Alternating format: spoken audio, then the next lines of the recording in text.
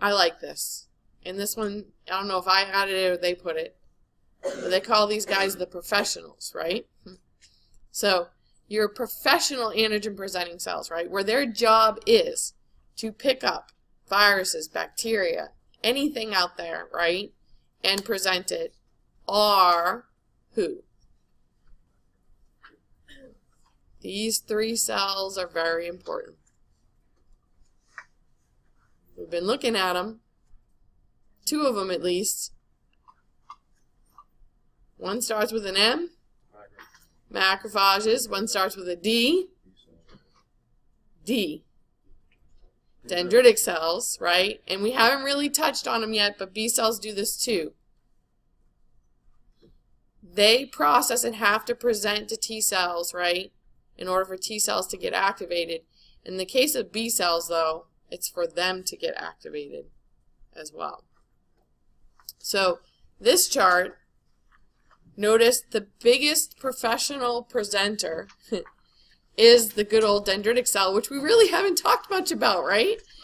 Um, he can activate both types of naive T cells and memory cells. He can either further activate effector right? Once uh, something's already started, he can continue to communicate with effector, helper, and cytotoxic T cells. Okay? Macrophages, he's pretty good, right? Except look, naive cytotoxic T cells, it says nothing about helper T cells, right? You see that difference in this list? The only one missing is this helper T cell right here at the top. And he really is our primary one for starting the, um, the response when it's the very first time we see an antigen. Notice primary. Naive means that these cells have never seen an antigen before. Memory means they've seen it before. Effector means they've seen it, they've been activated, they're out doing their job. Right? B cells, notice down here at the bottom, right, interact with effector CD4 T cells, right? So these are CD4 T cells that have already been activated by a dendritic cell. And then they're going to interact with the B cell because it also presents via MHC class 2 what it takes in. And what happens is that B cell is going to get activated. Notice they mention a type of T helper T cell here right, even. They have T and then H for helper and then 2. There are actually two subsets of helper T cells that help drive which way we're going to go or how much in one direction we're going to go.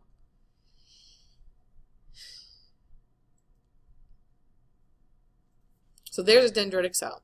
And so you can imagine why it got its name, right? See these long cytoplasmic projections, it uses this to grab onto stuff, right? They're not as effective killers, right? But that's really not their job. Their job, as we've seen, is presentation and talking to other cells, right? They're, they're found in the bone marrow.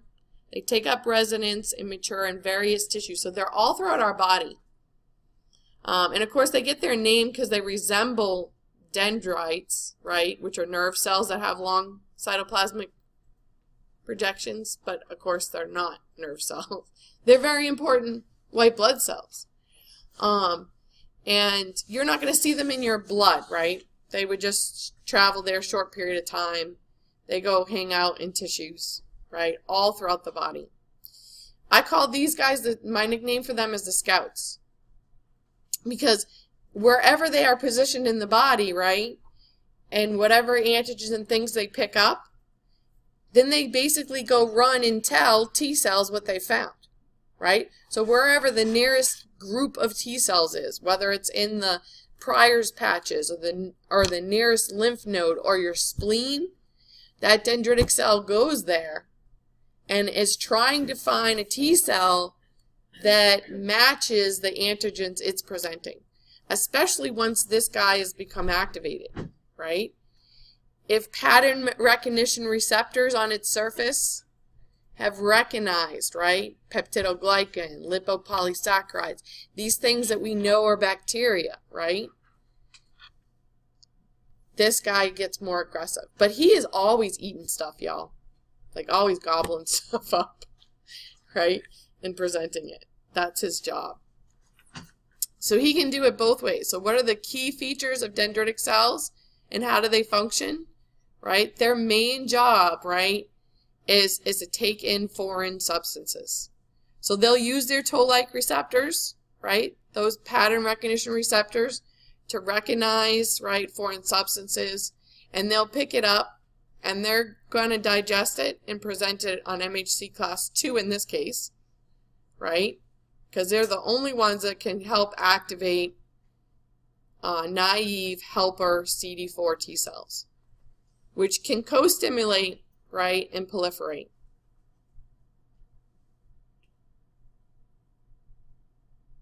So their key feature, right, is antigen presentation. Like that's their main job. And presenting it to T cells, in this case a helper T cell, that are going to really help determine, right, which way we go.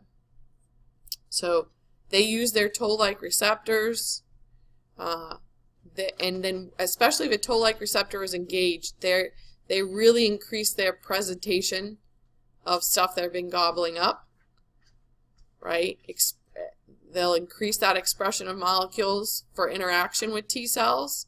And as I said, they migrate to tissues or into regional lymph nodes, right, to be able to find those naive T cells and activate them.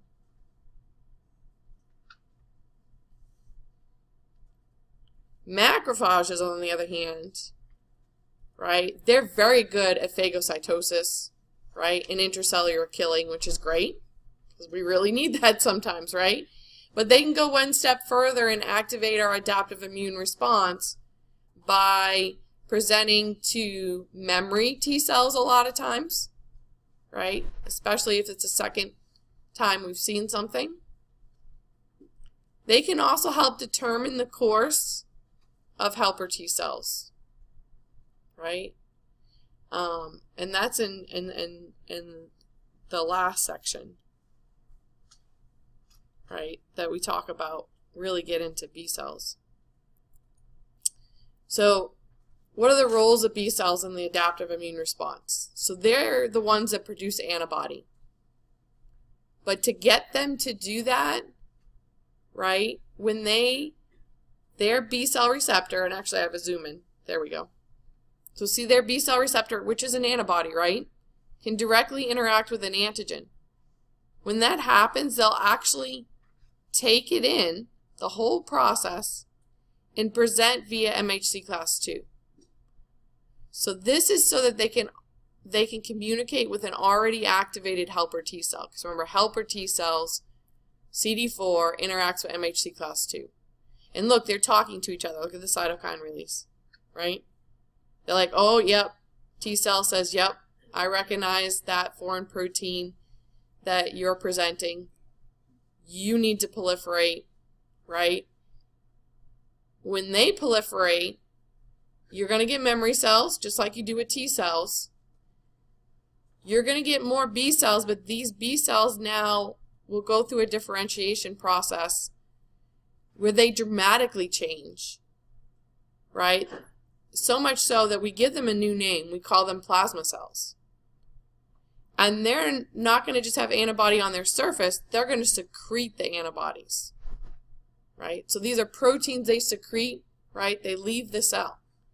And there's a clue here as to one of the major changes that happens and why they call it a plasma cell that we're going to zoom in on in a moment.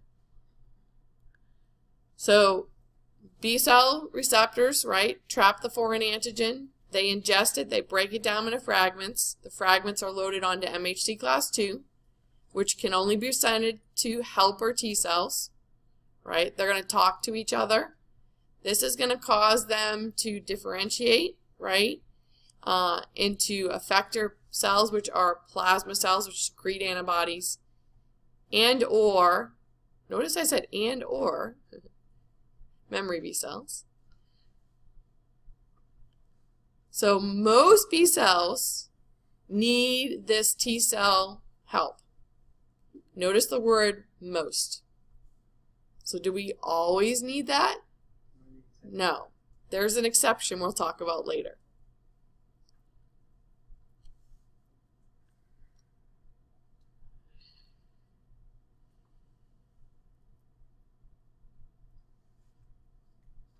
So antigens, right, they've got to be big enough that they're taken up, processed, and presented by dendritic cells and, and are able to stimulate the immune response, right? So sometimes we want to make a molecule more immunogenic, especially for vaccine purposes.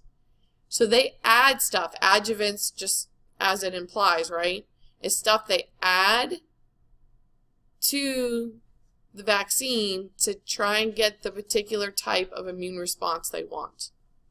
Notice I'm not going to ask you about these on the test though. Right? So, lucky y'all. right? But just FYI,